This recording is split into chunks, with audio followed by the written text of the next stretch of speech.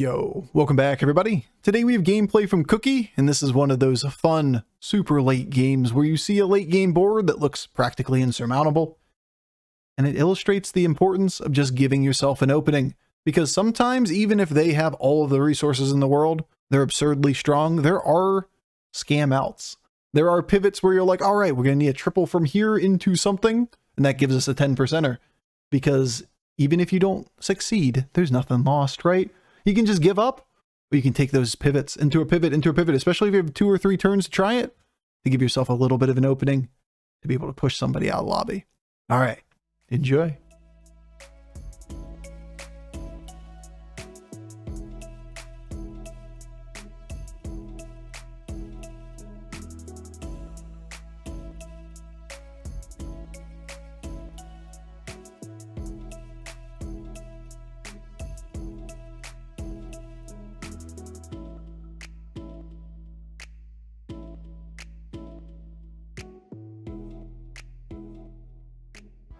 Day, you know? Oh. These were not the cards we named. We named two Quilboar that we wanted. Even Thorncaller's good. But like, why? Why the bad ones? Why not the good ones?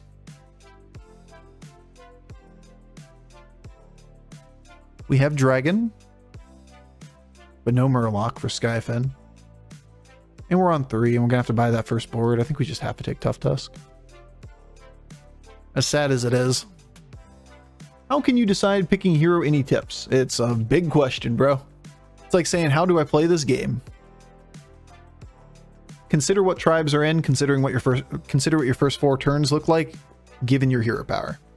That's probably the best advice. Given your hero power, how do you level? How do you play the first four turns of the game?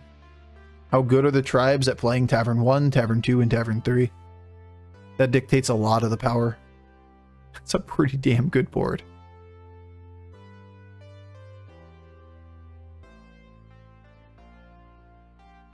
If I had a better answer for you, I'd give you the better answer. Or try to, at least.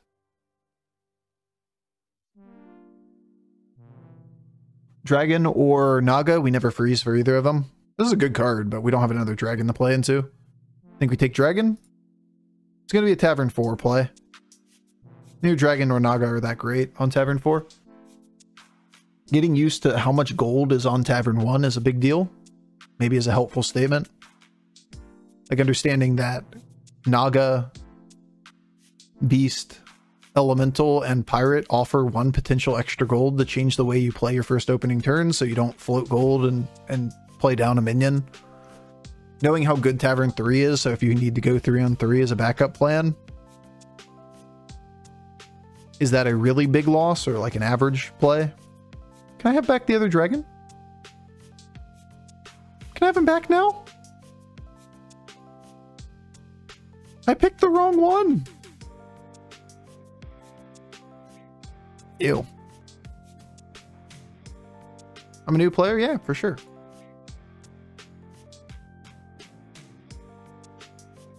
Yeah, makes sense.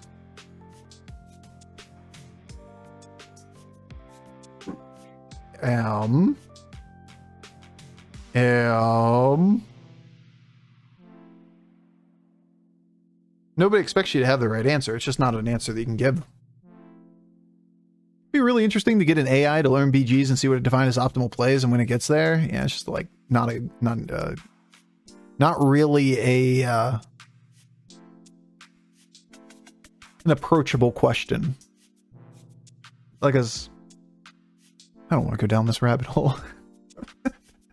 I, I spend a lot of my life around reinforcement learning. It is my background. And the way that the AI would approach this problem is dictated by the programmer. So, like, what you're saying would be the interesting part would be if it could figure out how to learn rather than what is the weighted set of criterion that it's using to dictate whether something is good or bad. That portion, if you could figure out what that weighting should be, that would be interesting.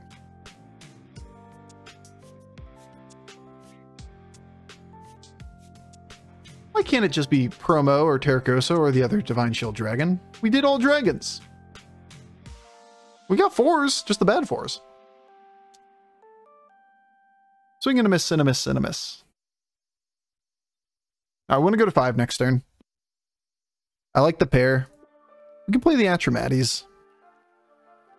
Also isn't Doug, so like... It's the Chrominiminu! Twilight Emissary is permanent stats on the board. We could also pick up the pair on it. I'm going to pick up the Elemental pair, though.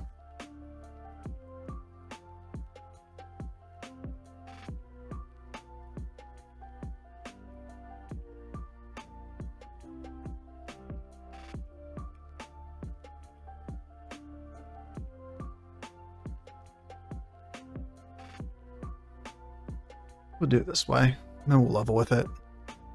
To be like chess, where AI competes against each other over huge volume, and then you decide decisions plus or minus win rates. Sure, of course. That's kind of the core concept of, of learning in general. But the way that you approach the programming of the problem is dictated by the programmer. Yeah, there's no reason why that wouldn't be true.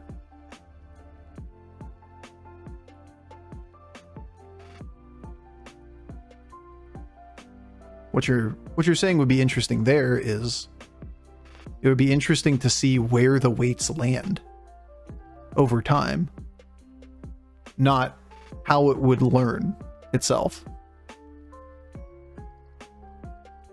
What would be the final state would be the interesting part.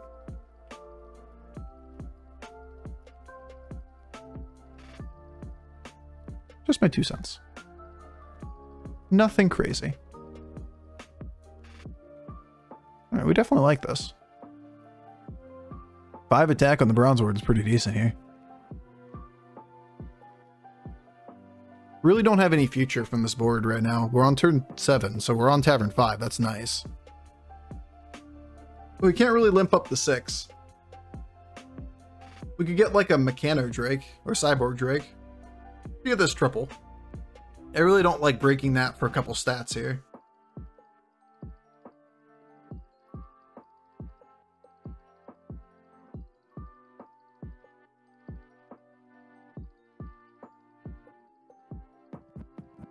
The problem with this discussion is we're not talking this we're not talking about the same concept of learning. You're talking about learning in an arbitrary sense as opposed to what what machine learning is. And while while it's perfectly fine, it's just it's not a conversation that has a one-to-one translation. It's like saying it'd be nice uh, to see how an optimal learning process of Hearthstone would be done, but machine learning does not follow human thought process of learning. It's still a program. Okay. We go find the dragon stuff or the triple, or we die. It's a start. That's dragon stuff. Kind of an interesting situation here. Because, like, I'm going to take this. I'm probably taking Brann too, even though Brann doesn't have a ton of upside in this lobby. So that means I'm definitely taking this. I kind of like the pair though. I'm going to leave the rest. Uh,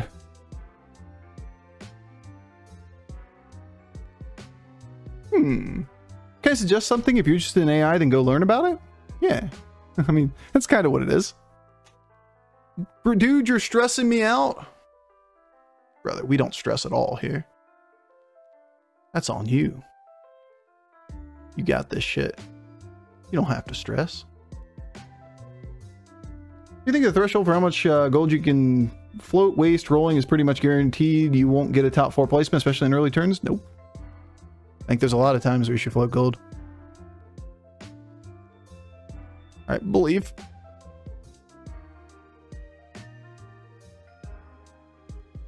Feels a little late to take the sky Skyfin, but I've said that before.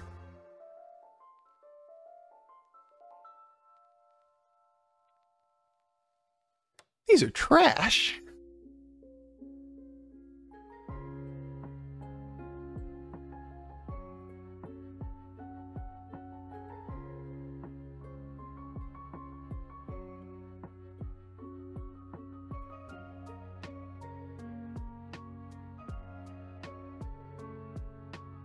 I think we have direction.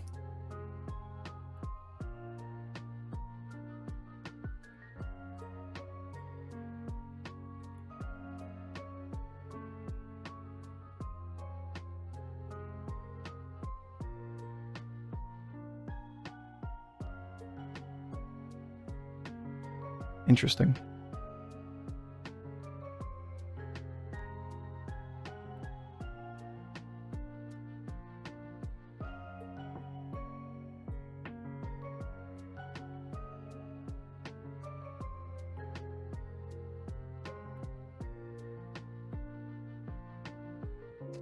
Augur's okay. We let it go though. For the turn. That's our direction. It's just slow. Just really slow in this game. So hard to play both of these cards. We covered you another battlegrounds that if you don't get have anything good on the board, you don't have to struggle for long. The sweet embrace of death is always coming. Indeed. I think we just just found stuff quick enough in this game.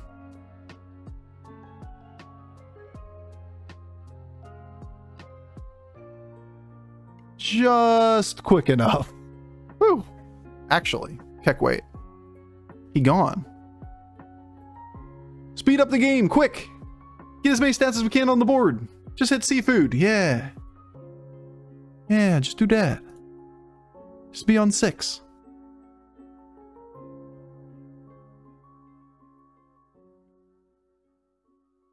Also, what exactly was his board? Magma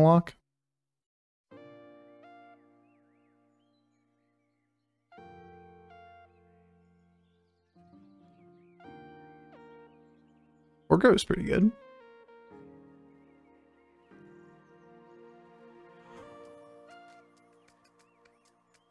Pufferquil. Hogger? Yeah, Hogger's too slow from this position.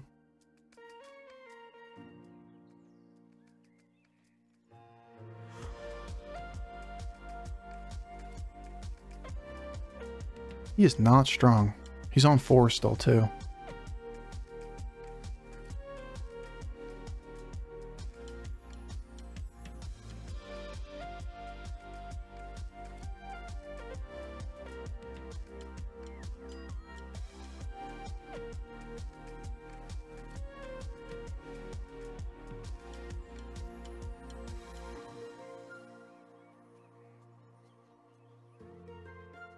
See a single Murloc that entire turn? Like I was just waiting for a Murloc and we just didn't see one. It was nuts. Where to Murloc though?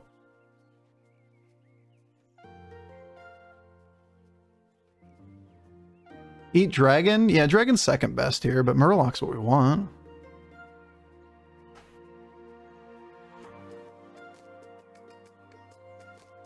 Maybe I missed one early on, but like I was watching afterwards.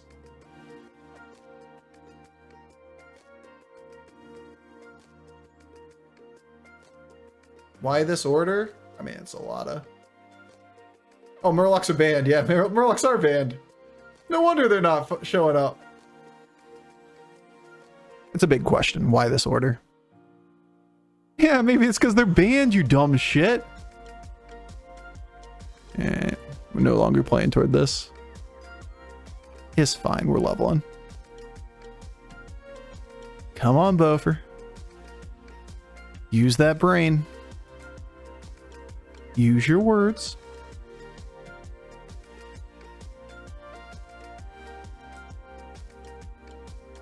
Augur is pretty cool and shit.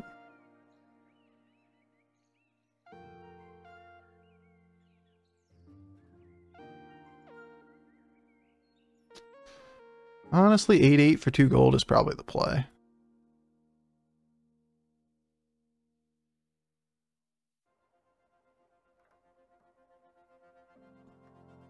I gotta do that still, don't I? that sucks.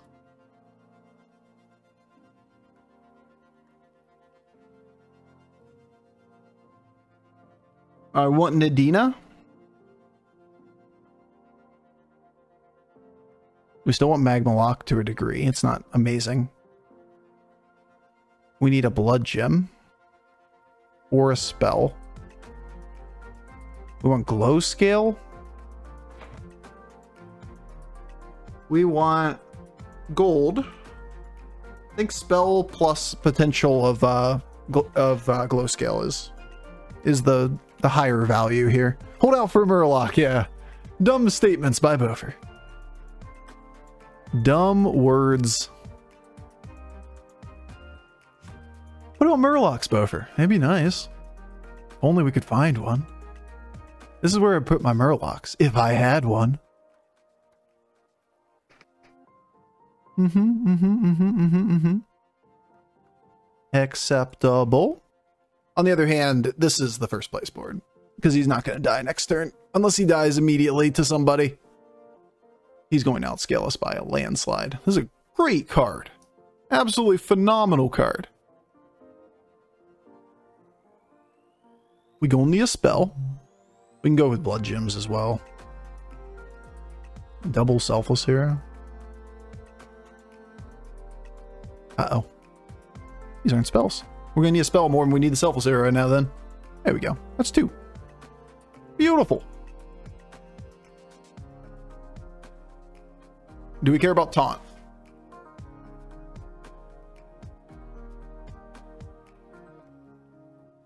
We don't really read as a board. People need to ghoul. We could just get out of Brann now. Taunt up Nadina.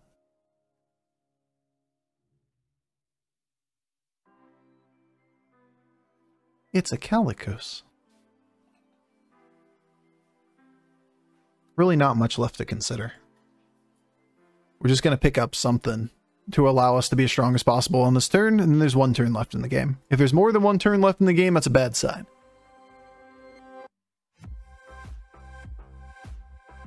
Those cards. Those ones. That's like the world's best board I have ever seen. That means we're dead, right? As the world's best board, we got free, free, Glowscale, and triple. that is... That is nuts. Alright, alright, alright, alright, alright. That's a pretty big boy right there. Whew. At least the Leroy doesn't connect with this. So the other one can.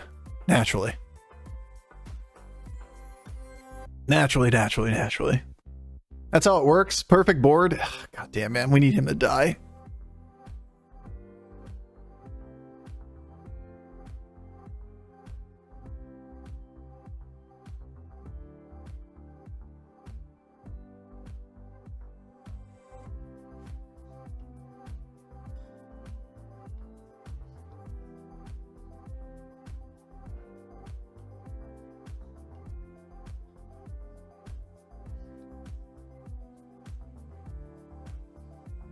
I'm never keeping this on the board, doesn't matter.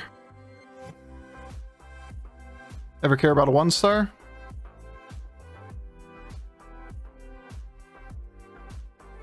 Maybe a bad statement, actually. Because I commit Mantid here. So there's really no reason to hold Brann.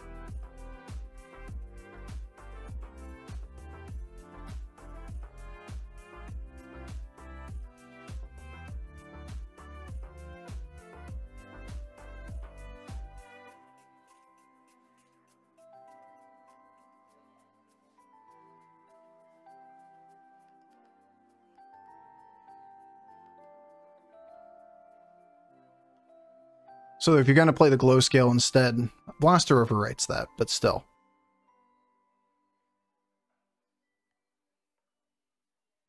ghoul into ghoul. We both know what the other person most likely is doing. Oh, you're the best little mantid. Perfect.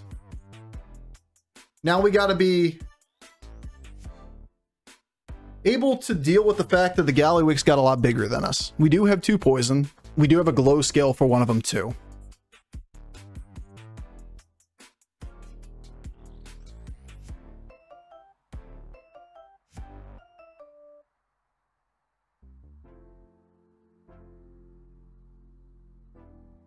And Selfless is definitely a pickup.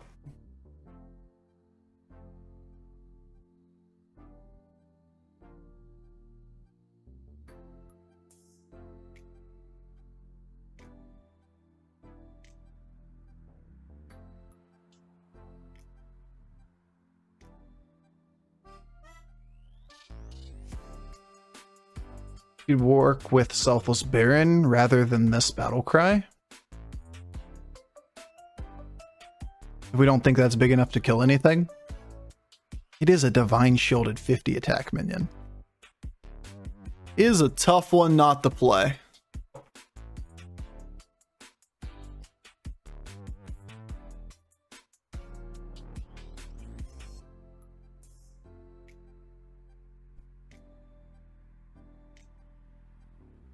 Kick Skyfin? Over what, though? I'm not going to play Ghoul in this scenario.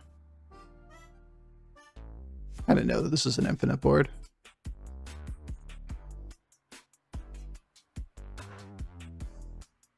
Not my favorite hits.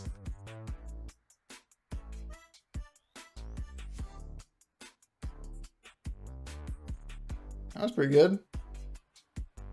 Got the tie. But it's a it's an infinite board, right? Kick Skyfin for Baron. It's just not better though. Unless that's only the poison is capable of killing something, it's not better. And in these scenarios, it's hard to make that read that like this damage and this damage aren't relevant. That's a hundred damage on that board. As opposed to one shield, potentially if both this thing has two open shields at the time, which is tough to get, and Baron's still alive, and Baron doesn't intercept one of the shields. So in most scenarios, it's just worse.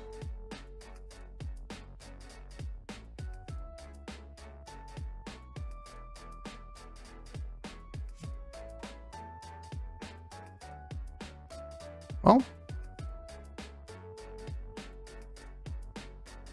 that's just about the best we could have hoped for, huh?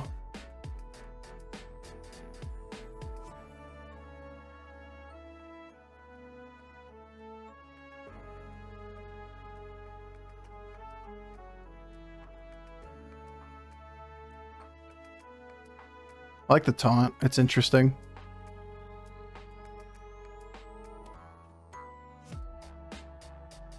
Because we could potentially taunt the the uh, selfless hero.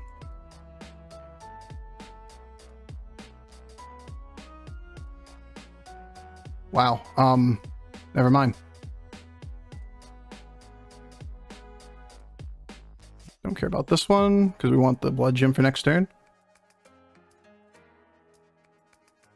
We hit the second Leroy. That's even better.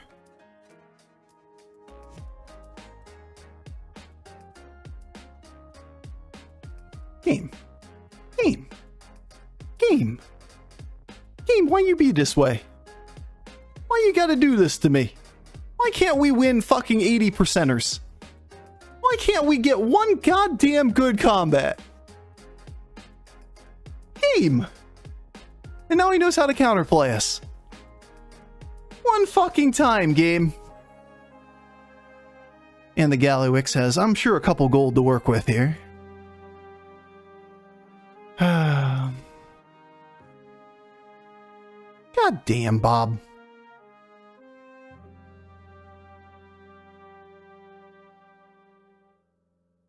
We're gonna need a gym. That's Jim. I think we have to just read he can't deal with us. You can't find a ghoul. Because this thing's practically worthless now.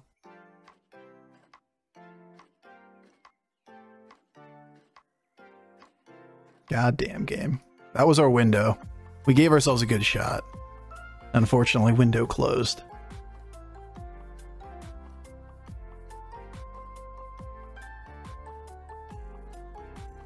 God damn it, Bobby.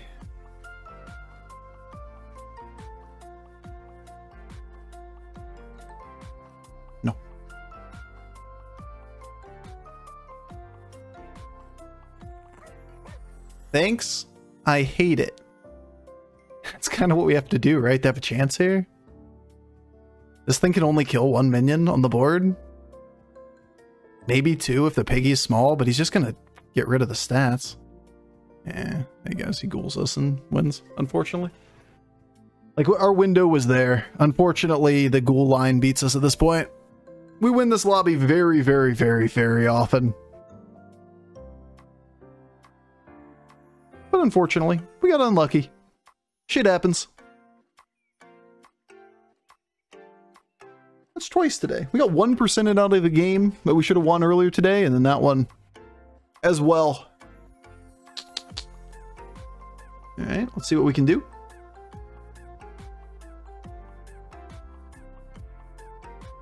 We can get Uther off of this as a start. It's not Uther. Fact, these aren't anything. As Dark Gaze isn't the worst card.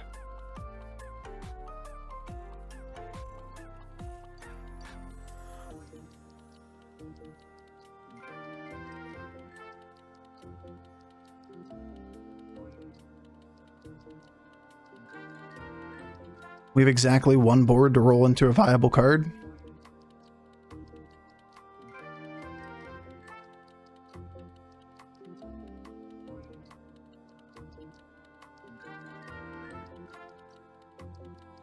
This thing potentially double bumps. It's also nice just because we can have a spell for next turn, Keck W. It doesn't actually give these guys permanent because it or poison because you know it transforms them.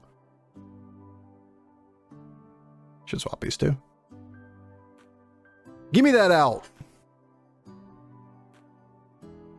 Give it to me, Babsy. All right, all right, all right, all right, all right, all right, all right. We kept waiting. We kept waiting. Deserved. Get fucked. Emote spamming piece of... No, was kidding. Got him. All right. Imagine being mad about emotes. Got him. Oh, shit. But yeah, we had to completely flush. I still played the blood gems on the, the uh, Leroy here in case he chooses to get rid of the Baron. Because Baron's Selfless Ghoul isn't is taking up four spots on his board there. If he chooses to play like another Mantid or something, he drops Baron. And then this thing could still live. Otherwise, it's just going to die. And it's not like we could replace any with anything else on the board, so...